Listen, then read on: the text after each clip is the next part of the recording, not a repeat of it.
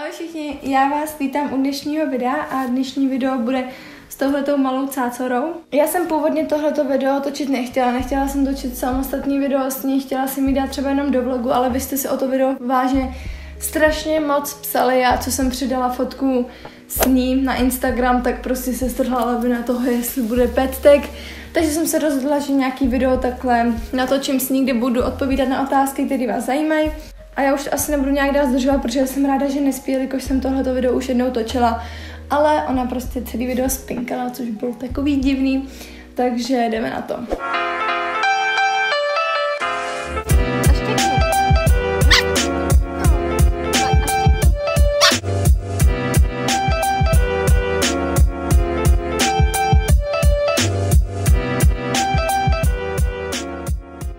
Takže, mm, tak vzala si to nejlepší. První otázka se teda týká toho, eh, jaký je plemeno a proč jsme si zrovna vybrali tohle plemeno. Tak pojď ke mně, pojď.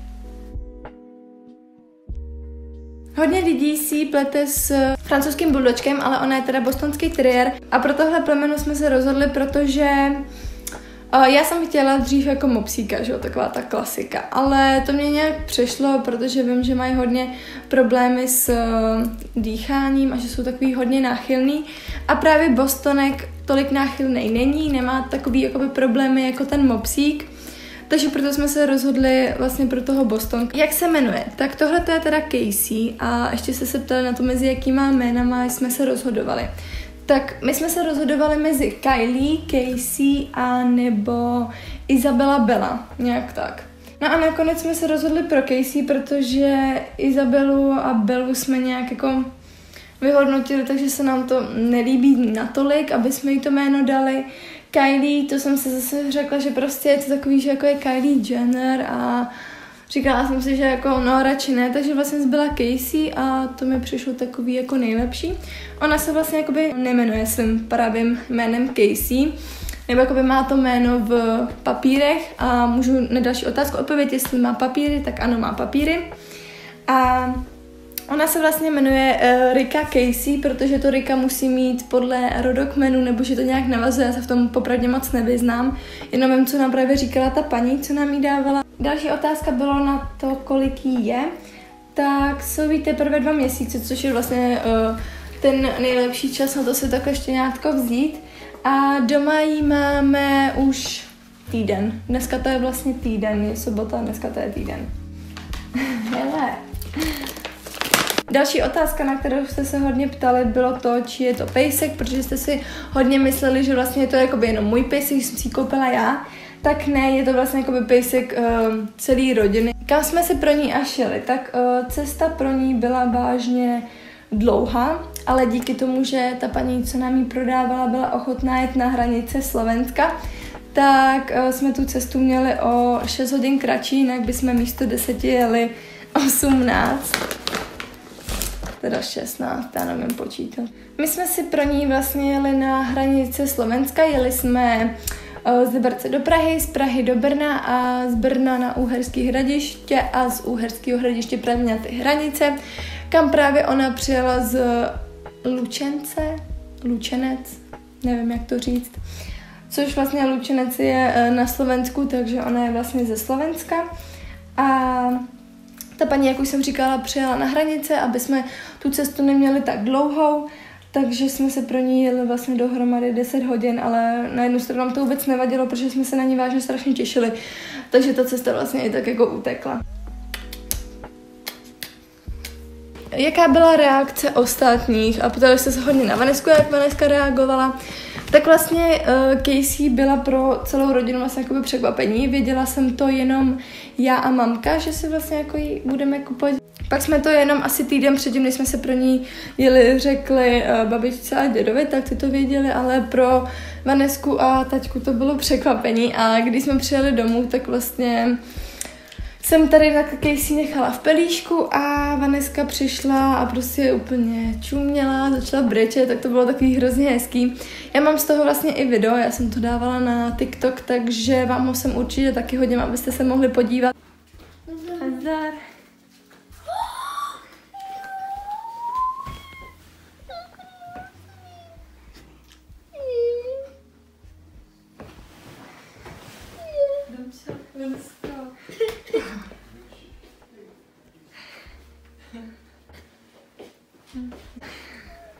Casey.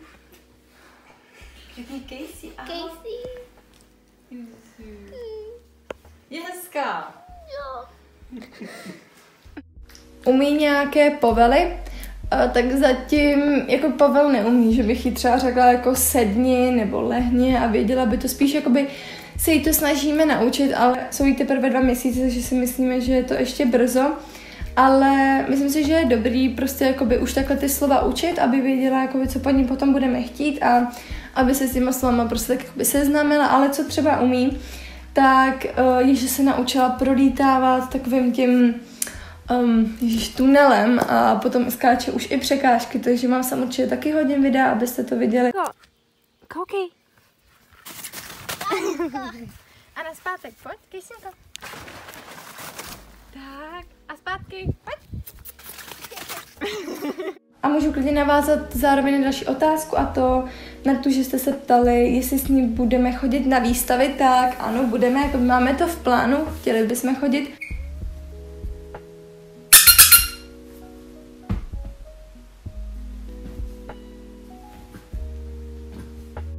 Její nejoblíbenější hračka, tak její nejoblíbenější jakoby vážně hračka, co jsme kupovali, tak je tenhle ten netopír, anebo ještě má ráda takhle balonky a potom fakt jako ráda kouše tady tu kostičku.